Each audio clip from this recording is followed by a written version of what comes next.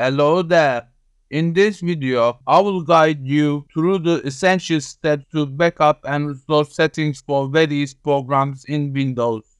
Whether you are upgrading your system or simply want to ensure your configuration are safe, this guide will provide you with the necessary technique to secure your program settings effectively. There is a free program called Clone app that allows you to easily backup configuration files in program directories and the registry for many popular Windows programs.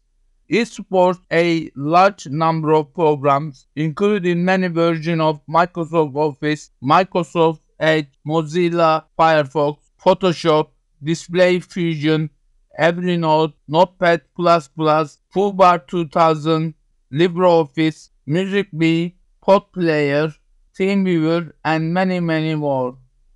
I'll show you how to use the Clone app to backup and restore program settings using the Notepad++ program as an example.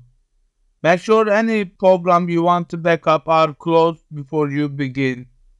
Clone app uses plugin to add ports for programs it will backup in Windows. As of this, it includes 249 plugins for different programs, so chances are it can backup a lot of programs you use. To backup settings in Programs folder and the registry, download the portable version of the Clone app from the description section of this video and extract the zip archive file into a folder. To fully backup program settings, CloneApp must be run as an administrator. To do that, right-click on the cloneapp.exe file and select Run as Administrator from the pop-up menu.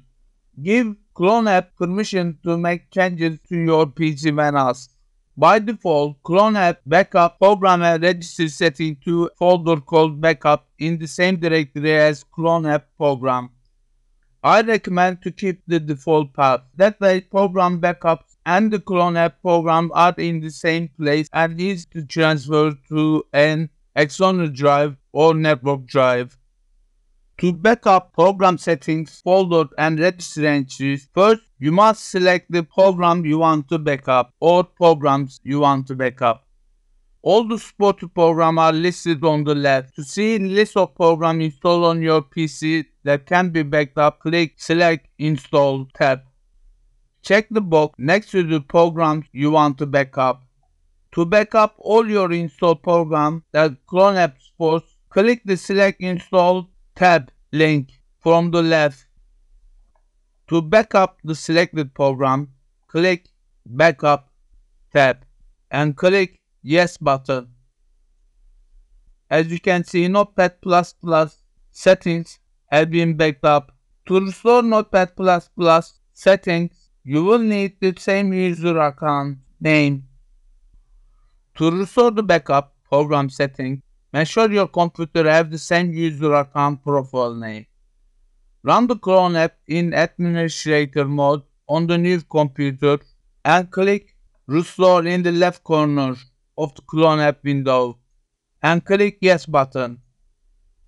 When the restoration process is complete, a message displayed at the end of the log and at the bottom of the Clone app window.